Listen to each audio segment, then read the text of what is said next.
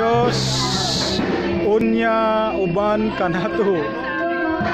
Maayong aga sa tanan. Ang inyong lingkod Doc Dan reporting uh, from uh, Panglao Island here in uh, International Christian Assembly Ministries headed by uh, Pastor Alex Abad. Thank you. Uh, just uh, remember all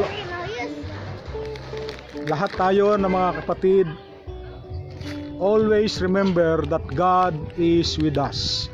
Maging sa lugar na to. Thank you po. Salamat sa Yan. word. Bati kayo sa mga kapatiran. Ah, hello!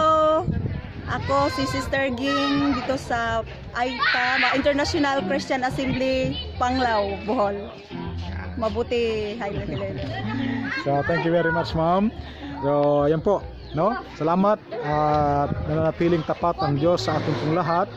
Ah, this Sunday, dito tayo nakapag-preach ng salita ng Diyos. At ah, salamat sa opportunity na binigay sa atin upang ipangaral ang kanyang salita sa lugar pong ito. Ah, next Sunday, dyan ako sa Kidapawan City. So, last Sunday, din ako sa Quirino. So, ito po ang ministering pinagkatiwala ng Diyos sa atin na nakapag-minister tayo sa iba't ibang probinsya ng ating pong ah, bansa. So, maraming salamat po.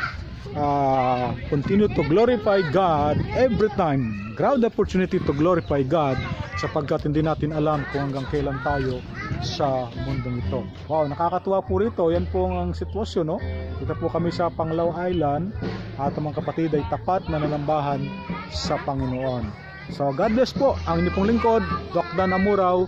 See you again sa next uh, report po natin, sa next video po natin. Thank you, thank you.